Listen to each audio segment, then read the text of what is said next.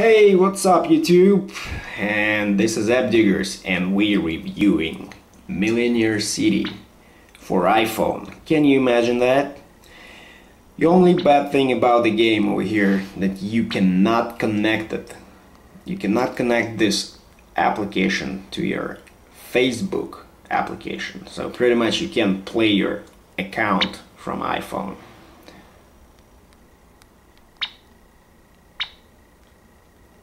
They want you to buy one, two, a little bit of land. They go through the tutorial. Pretty much this is very kind of cool game, but except for one thing that you may not purchase. I mean, you cannot directly play from your Facebook account. You cannot attach it over here.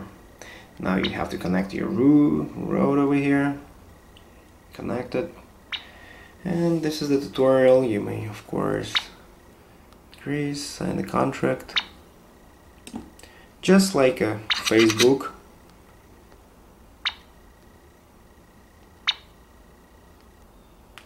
Decorations.